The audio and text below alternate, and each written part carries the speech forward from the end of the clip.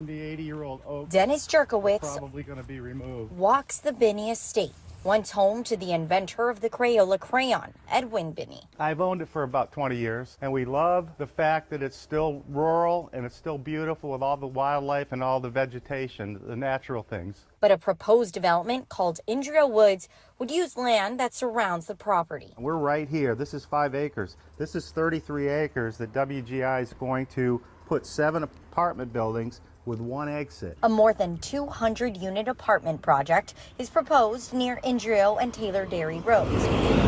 After facing opposition in March, the developer is now back with changes based on the feedback. Tonight, the board will be hearing that revised plan, which will be reducing the density, you know, the number of units. It'll also be increasing the open space.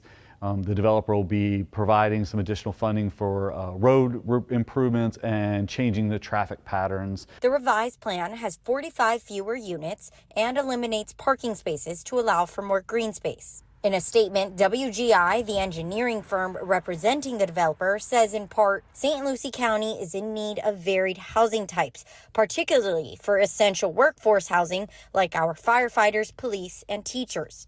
The project, which is close to the airport and a planned fire station, helps to fill that need.